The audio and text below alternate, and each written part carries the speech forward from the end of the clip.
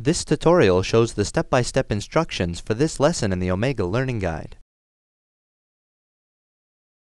To begin, you will need to open the file you saved at the end of the previous lesson. Click Select All, then click Arrange Group. Click Shape Absolute Size. Turn on Uniform and enter 30 in the Height box. Click OK to return to Composer. Save the job before sending it to GSP Plot. Then click File Output All.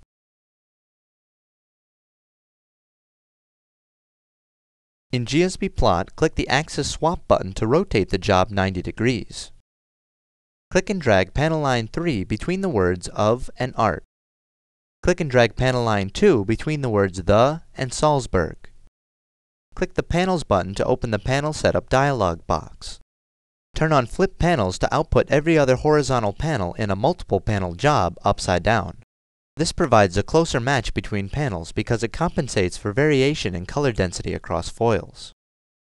Turn on Output each panel as a separate job to improve cutting accuracy by providing registration targets for each panel. Click OK to return to GSP Plot. Click on the Print to Device button in the GSP Plot toolbar to send the job to the default printer. Click the Cut Pounce button to send the job to the default plotter. This concludes this lesson. Be sure to check if there are any exercises or tip videos associated with this lesson before continuing. For more information on this and other topics, please consult the Omega Help file or press F1 in Composer.